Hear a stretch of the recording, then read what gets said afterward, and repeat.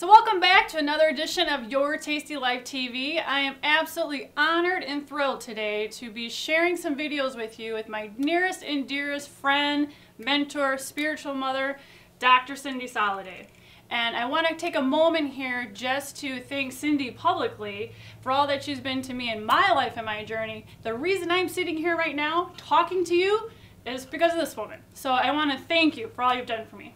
You are more than welcome, but you are sitting here today on this couch with me because of all that you do. But thank you so much for that beautiful She's my biggest supporter. I love this woman dearly. I so, love you too. and I couldn't think of a better person. I wanted to invite in to share some knowledge and information with our Your Tasty Life folks at home regarding adding more bliss to your life. You are the mm. perfect person to talk about this topic.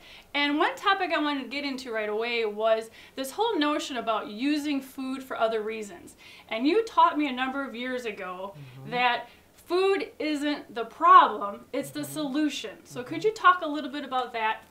Yeah, this has been a very common misnomer in the work that we've done together with, uh, especially women over the years.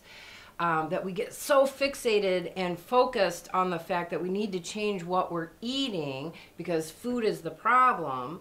But as we know and as we've discussed, actually, food is your solution, it's not the problem. In other words, food is how you're actually solving perhaps other problems in your life. And the key to a healthier nutrition and a healthier life that leads to bliss is to begin to uncover, discover, and resolve, Lisa, mm-hmm. what the real underlying causes and conditions are related to your real problems. Mm-hmm. So, what have you noticed, Dr. Cindy, in your years of counseling folks? Mm-hmm. Um, what does food represent for people? What do they use it for if it's not for nourishment? Well, I mean, I think we all could agree and understand now that food is medicine, and uh, lots of people are self medicating. And that's kind of self defeating in some ways, especially when you're using a lot of the food that we kind of classify as sad, which is part of the standard American diet, right? Sure.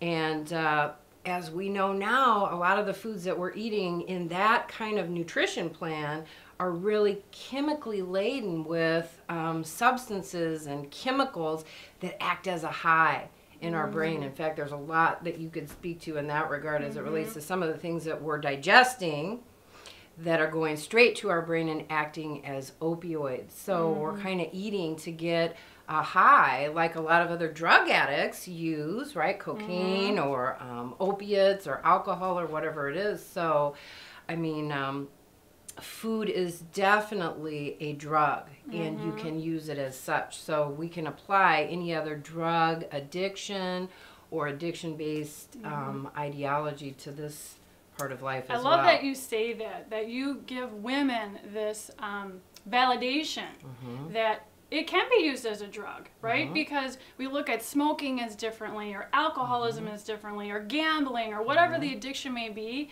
Mm-hmm. But it's kind of like viewed, well, you're just lazy, you don't have control if you can't handle your food habits. Mm-hmm. And what you're validating is there is true science to back up food Tons it. addiction and how it acts on our Right. brain. right. That we're not trying to be bad. We may Right. not have control over this.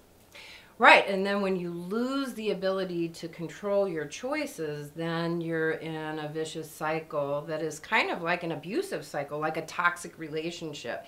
And make no mistake about it, also, it really is all about relationships, mm-hmm. relationships within ourselves as I like to say, spiritual beings having a human experience and in our mind, body, and spirit. But our relationship with food is also vitally important in our overall health and well being. And if you've gotten into a toxic relationship with food, right, then you need again to begin to really discover the dynamics associated with that. Um, both internally and externally, if you really want to make a difference in your life. I used to say, ladies um, and gentlemen, years ago when we worked together at another healthcare uh, facility, I offered a group that I used to call my fat group. And it was mm-hmm. capital F A T. And some people were kind of offended by that, but you know, let, let's get real. We're all talking about fat, and we're all mm-hmm. worried about fat, and it's all about fat, fat, fat. But for me, at that time, and still to this day, fat represents food addiction in need of treatment. So if you're fat and you're not sure why and you've tried everything else, then you might want to explore that possibility as well. Mm-hmm. So there's great insight and information here today. Where could folks, if they're listening or watching this, find more information about Dr. Cindy? You know, where, where could they get in touch with you? Uh, well, um, I have my own private practice, mm-hmm. and uh, my business name is Mind Body Soulutions. So that's Mind Dash Body Soulutions, spelled with an extra U, S O U L U T I O N S, mm-hmm. and that's because I really believe in the mind, body, soul connection. So you can check out my website. Um, you could just Google my name, Dr. Cindy Solliday, and there are lots of different web directories and other things that would get you in contact with me. If you just want to call me, 262 327 6381, and I'd be happy to be of support to you on your journey. Well, thank you so much, Dr. Cindy. This has been really enlightening. Thanks again for tuning in.